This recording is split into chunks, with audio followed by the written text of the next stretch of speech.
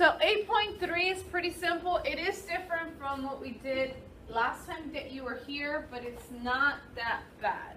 Have you guys heard of factoring before? Yes. Mm-hmm. I hate it. You hate it? Okay, I'm sorry. Find a polynomial. Right, not fine. Write a polynomial and factor So there's different types, different situations.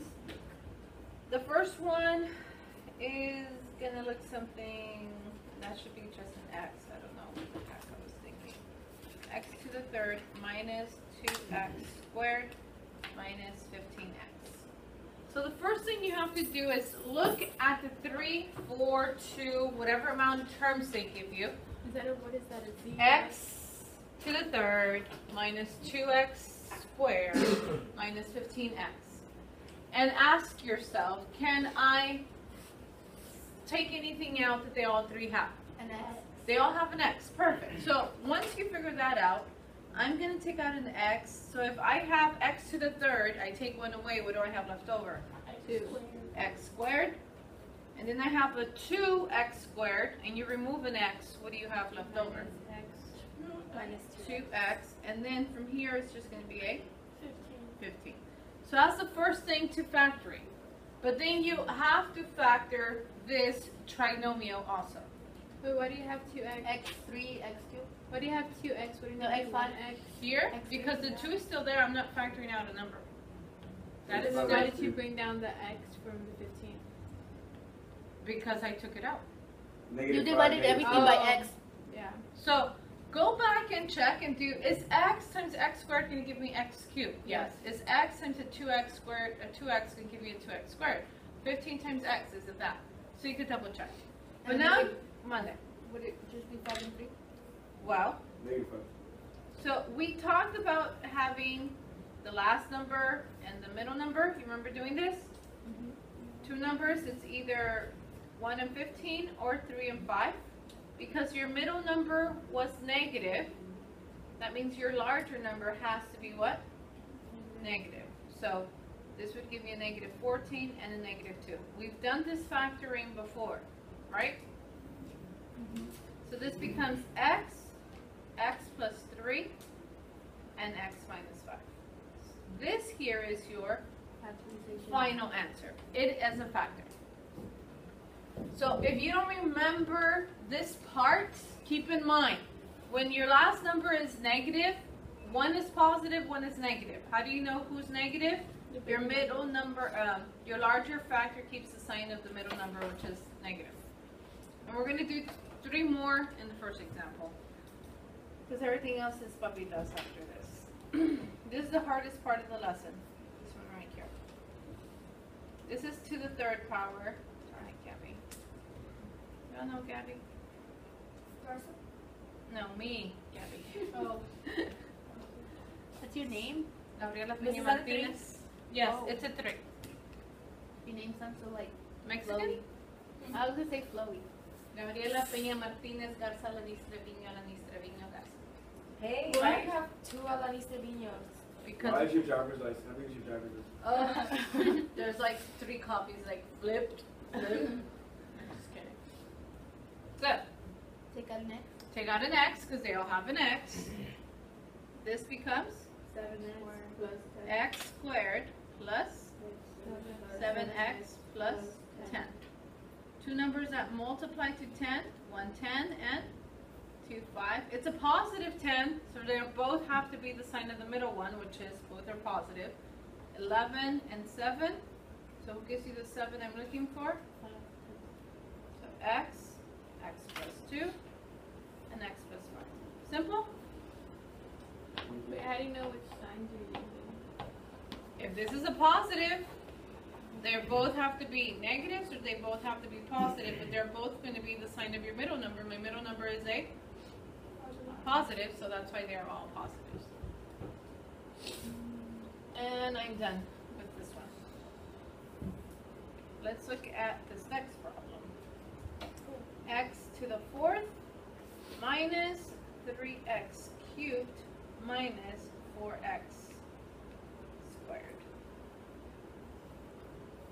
So, um, listen, are you only doing these three examples or is still continuing? Oh, no, there's like four examples, but this is the only one that has four A, B, C, D. All the other ones have just AB, AB, AB.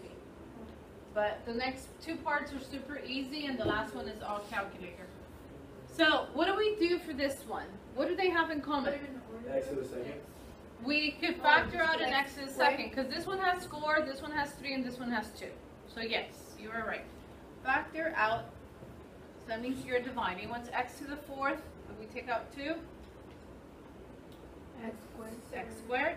If I have a 3x cubed, and I divide by x, x 3 negative 3x, 3x, and then that negative 4x squared becomes just a negative 4. Negative 4 first step is done, make a table. Numbers to give me a four, one and four, two and two. Your four is negative, that mm-hmm. means it, it's either positive negative or negative positive, your factors, because it's a negative. So your middle number is what? Negative. Negative, that means your larger numbers have to be negative. Who's gonna give me the negative three? One and four.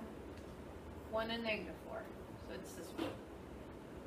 We have x squared, x plus one, and an x minus four. How are you feeling about it?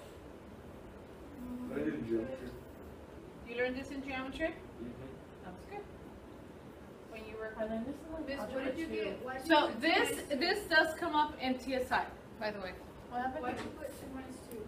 Oh, because two times two is also four, but this would give me a zero. That's not gonna be, remember, that's when we list all the factors and you're trying to find the right one. Isn't two times two four? Yes. Yes, so it's a factor, but that one doesn't work. Part D. So the last one, what do they all have in common? Two X.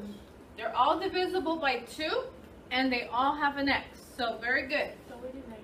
Yes, negative 2x because you want your front number to be a positive. So negative x to the third, if I divide that by a negative 2x, what's negative 2 times divided by negative 2? X squared.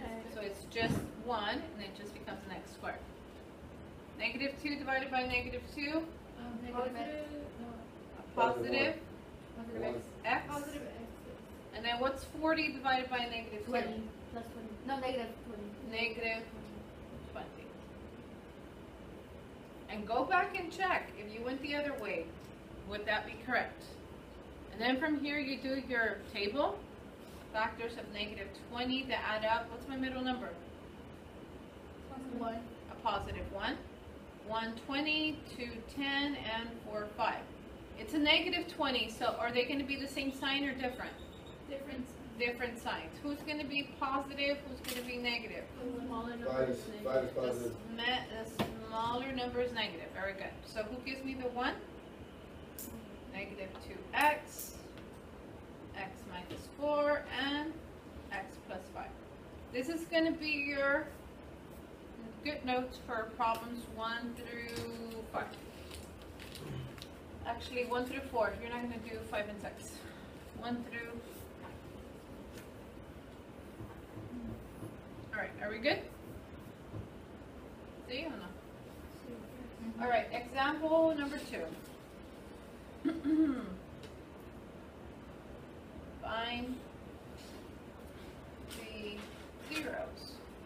This is how simple this is gonna be. I think maybe I just have to do one and that's it, hopefully. So you're gonna get an equation that looks like this.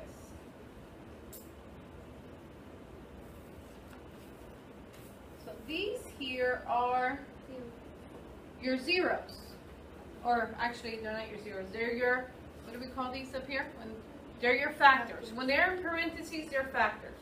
In order for them to become zeros, you have to set them equal to zero. So it's just negative So this becomes x plus 2 is equal to 0, x minus 1 equals to 0, x minus 3 is equal to 0. So what does this become? Negative two, positive Negative one, two. positive three. Positive 1 and a positive 3. You're just solving for x right there. That's it. So those are your zeros. That's all you have to do for those three problems. So this is for problems 7 through 9. And I'm gonna do a little B on the side really quick, but are there, is there a question on A? So, their factors, you set them equal to zero, I was supposed to subtract two, that's why it became that, add one, that's why it became a positive one, add three to both sides, that's why that became. But I'm just gonna do a simple problem for B, y equals x, and x, give me a number, I don't care, Seven. minus seven. So, if I were to solve the factors for this one, what are my factors? Um, I have what? negative four. x equals to 0 and x minus 7 is equal to 0. When there's an x in the front, that is also a factor. You have to put that. Now, can I do anything here? Um, no. So, there's one answer, and this becomes what? Plus. And you're done. So, problem number 9, you're going to have something like this with the next. Don't forget, that's a 0. So we're done with example 2, and we're up to problem number 9. And there's just 16 problems. Problem number, I mean, I'm going to turn the page. Example number 3. I only have one for that one also. It says, write the polynomial. Do you guys know how to factor? I mean, sorry, how to do FOIL? Yes. Polynomial, I can't even spell, but even my serious. So they're gonna tell you, hey, these are my zeros. So these are your zeros. How do I make zeros into factors? Switch the signs. Switch the sign. So this minus two is gonna become Plus x two. plus two. This X plus two is gonna become two. X minus two. minus two. And that positive three is gonna become X minus three. x minus 3. But I want a poly, so I'm going backwards. First, they give you a polynomial, you factor, you find the zeros. Now you're going from zeros to factors, but now you have to find the polynomial. So what do I need to do? Do you know how to do FOIL? We're taking two at a time. What's x times x? X squared. x squared. What's x times a Negative negative 2? 2x. Negative two. What is X. 2 times 2x. Two x. And what is 2 times a negative 2? Negative four. Negative 4. Don't forget this guy's still back here. I'm not ignoring it. It's still part of the equation at x minus 3, but you can't do everything together. Two things at a time. So, can I combine anything here? Um, Negative two and positive two, cancel out. They cancel. So this just becomes x squared minus four. 4, and then X minus three. So guess what? You have to do it Again. again. so this becomes, X X cubed. to the third. wait, wait, wait, wait.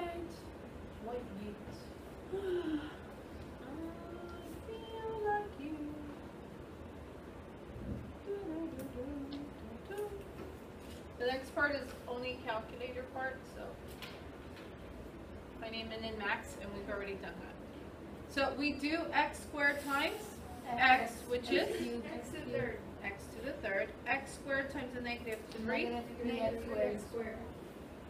negative four times x, Negative four X. bless you, and negative four times a Positive negative 12. three, positive twelve. Now, can I combine anything in this problem? No. No. Now, on yours, you might be able to. So depending on what you get is what you have to do. Are we good? So the last part, like I told you, is with a calculator, so hopefully you have it. So we have to find the min and max. So let's see how this comes out.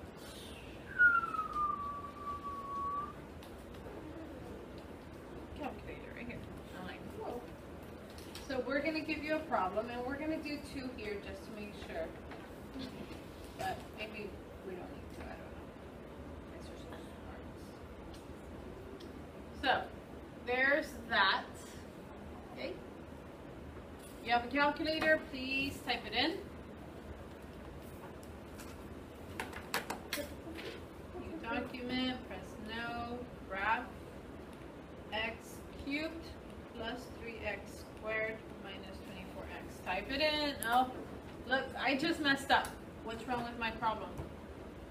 I never move to the side after the x cubed, so make sure after x cubed, He said weird. three x squared minus twenty-four, and it's okay, twenty-four x.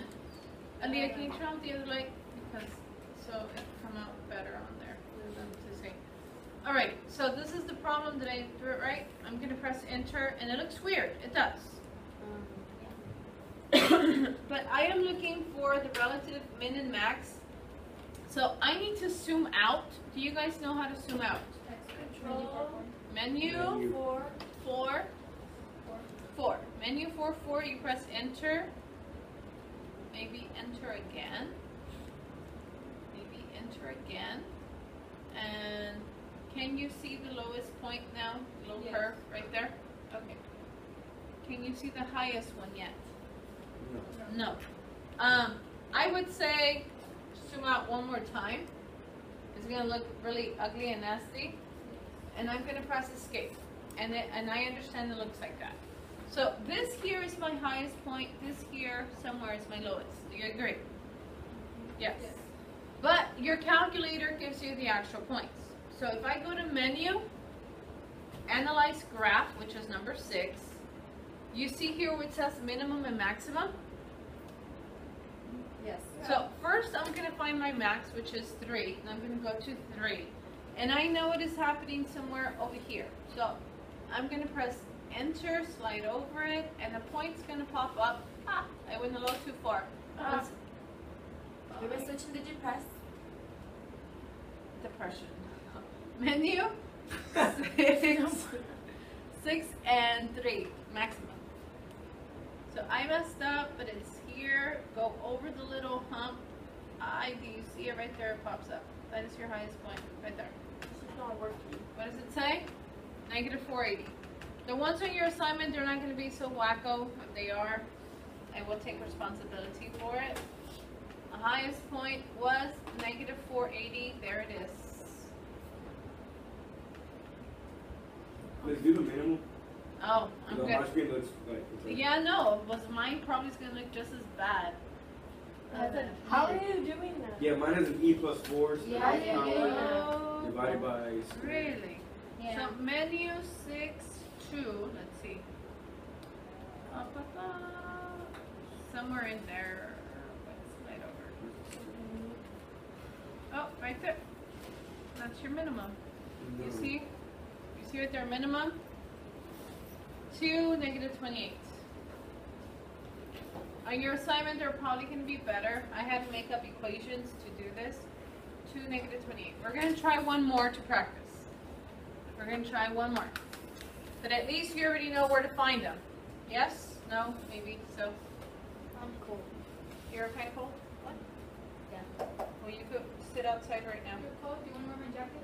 Yeah, you have jacket. Thank you. Whatever.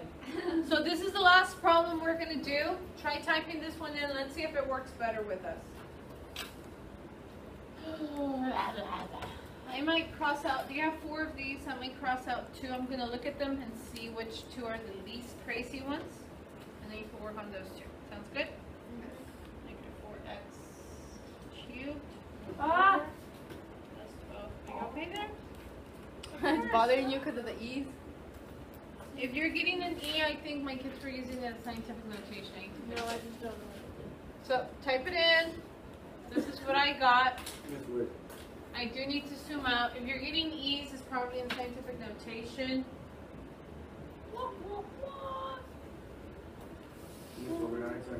I got Mrs. I'm Obedient. gonna fix it. Yes, I'm so happy. Menu four four. What's wrong with you? You're so grumpy. Just go back here. Okay. You can do that? Everything's okay. Breathe. Breathe Oh. in. Breathe out. There it is. Okay? Mine didn't show up. Oh, it's not the kid doesn't like it. So I zoomed out once and they gave, uh, you could already see the top, I'm going. You could already see the top, see the bottom. So where do I go? Menu four, two to find my minimum. Which one's my minimum? The one on the left or right? Um, the left. The left, so it has to be here somewhere. So minimum right there.